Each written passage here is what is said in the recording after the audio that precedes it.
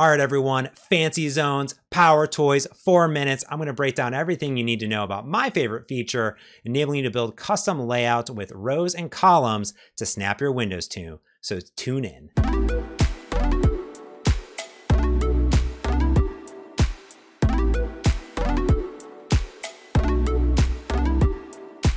Hey everyone, I'm James and I'm back with a shorter video this time, all about fancy zones inside of Power Toys, one of my favorite applications on Windows as a developer and also as a user of Windows.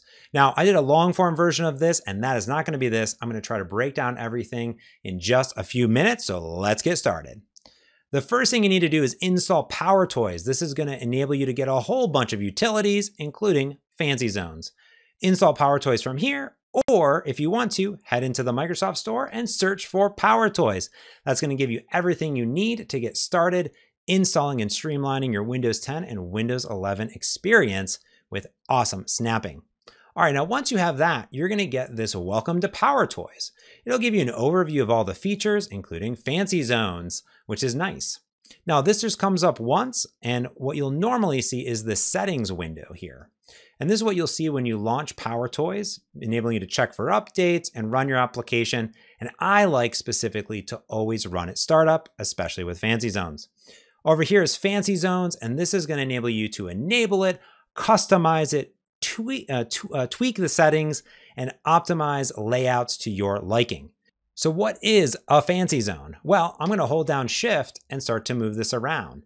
I can easily come in with shift automatically decide where my windows are. If I get rid of shift, boom, it's good to go. If I open another application, boom, snap it immediately, snap it immediately. Just like that, I'm able to create a custom layout on my Windows machine. So how do I do that? Well, we're going to get into the editor and the layout, but I want to show you that you can completely customize it here. The layout zones, you hold down shift to activate that zone. You can also use your non-primary mouse to toggle zone activation too which is really nice. And there's all sorts of customization here. The zone appearance, the opacity that you have.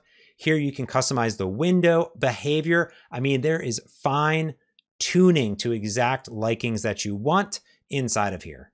You can do window switching with page up and page down with the Windows key, and you can customize this too.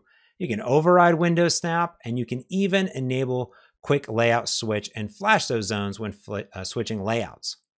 Finally, over here, you can exclude apps if you never want that to happen. But let's go into the most important section here, which is the layout editor. Now, what we see here is that there's a bunch of templates that ship with Power Toys and Fancy Zones. So here, if I want to, I can come in and look at a priority grid and see right here that this is now my priority grid setup. If I wanted normal grid or rows, just like that, we have this set up. Now, the other thing I'll note here is that there's spacing in here by default. Some people don't want that, so hit that edit button and you'll be able to toggle that on and off. See that right there? On and off. You can enable more zones or less zones inside of here, but these are the templates, so they don't let you modify it too much besides that spacing. But you can duplicate it, or you can create your own layout. Now, this enables you to have a custom layout with a grid or canvas, which enables you to have overlapping zones if you want to get real fancy with it. Now I'm going to do a grid and we're going to hit create. Now this is a little floating box that's important information, but definitely leave that open. If you hit save and apply, it's going to come back to this screen. And what you'll need to do is either right click and say edit zones or click this edit button and then edit it again. Now I want to show you that you can also set layout shortcut keys there too, and of course turn on and off that space. So up to you. All right, let's edit this. And now what I'm gonna do is notice here that I can come in and automatically Fancy Zones is telling me to split this, just like that. That's pretty cool. If I wanna reunite these, I'm just gonna drag the zones together and hit merge. I love that it tells me my pixel density there, so I get everything I want if I'm doing recordings. I can split this up into three zones. I can move things around, everything that I want to get real customized there too. Now, let's say that you want to not split this like this. You want to split it the other way.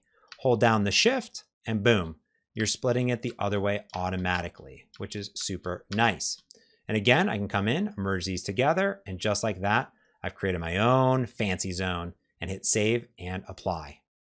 Now, when I exit out of here and I bring back up applications, I can snap them to all of my windows, just like that.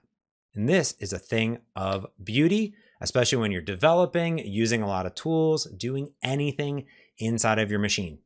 Now, of course, there's tons of options inside of Fancy Zones, so be sure to come in and really look around at all of the little options that you have available. But I love Fancy Zones so much. Look at this, it's just amazing.